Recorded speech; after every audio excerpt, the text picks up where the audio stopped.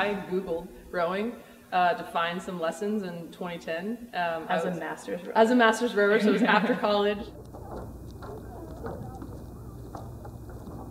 I had been on the erg like once before at a gym, and I was like, oh, I know how to do this. Um, I did not know how to do it. Uh, of course, that competitive side, you know, ever since I was a kid, I, I had to be the best at everything. And so I think once I realized I liked this, had some potential, I was like, oh man, okay, let's see what I can do. Um, and then, you know, the sport itself, it really draws you in in a way that you get out of it what you put in. And so it's sort of this constant self check of what are you capable of? Who are you?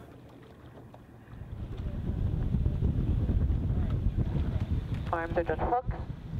Hands are hooks. Arms are ropes. years ago now we're in a place where we've put so much work into the double into our team that i really think that that's what gives us uh, a lot of the power and kind of perhaps the advantage over other crews is that we've had a lot of experience together we've we've had a lot of like challenges and overcome a lot of obstacles that um, you know that's that's kind of an intangible that i think a lot of other crews may not have And I also think um, the work ethic that we both have is very similar. Like we come to the boathouse every day, um, trying trying to get better, trying to make improvements. So um, it's it's easy to work with someone who you like when you know they're working as hard, if not harder, than you are.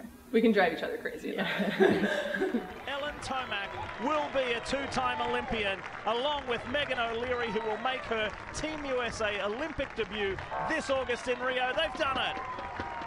it's funny, like, you know, we launch 50 minutes before a race, but there's a sense of calm that comes over us once we're on the water because it's like, this is what we know how to do.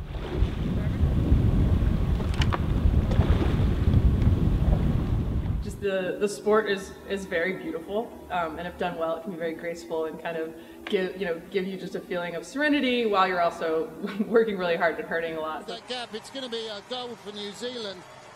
Lowen Donovan, you take the gold. The USA take a silver medal. Well i knew we were going to medal going to the world championships just because of um, there's just sort of this instinct this feeling of how how the boat was going we had we'd had a tough year last year with injury and just like work and kind of some stuff and um, but in those those weeks leading into worlds we just sort of came together and it really you could just feel it uh, I just I remember hugging her across the line, saying like we did it, you know, like yeah, you did it. So we're still at that place where we haven't hit our ceiling, um, so we're really excited about continuing, you know, continuing on.